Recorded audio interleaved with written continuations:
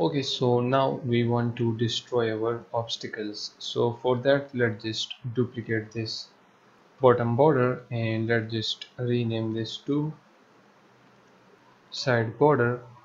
And right here we will change the rotation z value to 90 and let's just place it outside the camera view. So when the obstacle hit this side border then we will destroy that obstacle. And now we need to give these borders a tag. So as you can see it shows a tag option right here. Select the borders then this tag.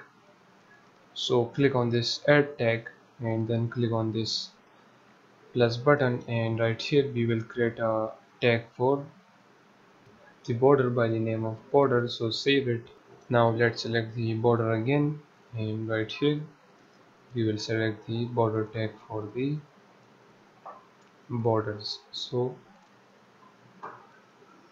now let's click on this obstacle prefab and right here. Now click on this open prefab and right here right here add a box collider.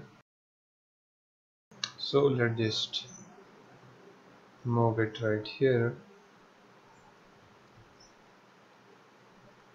let's change its radius to 0 0.8 or let's just leave it as 0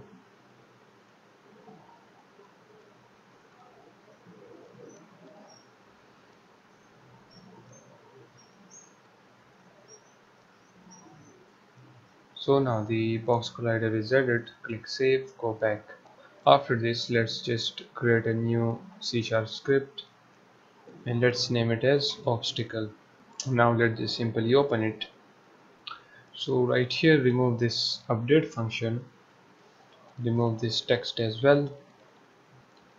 And right here we will create a private function. So private void and the function name will be on trigger enter 2d then we will add round brackets and right here we will have collider 2d by the name of collision. And in here we will say if the collision dot tag is equals to border then what we will do? Then we will simply destroy the game object. So for that we will type this dot game object. Now let's just save it. Get back to unity.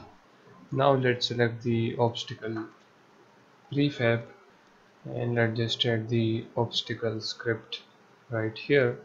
And also add a rigid body 2d let's just take the freeze rotation z. The gravity scale will be 0 and right here in the box collider so take this as triggered. Now if we test it out now as you can see the obstacles are now destroying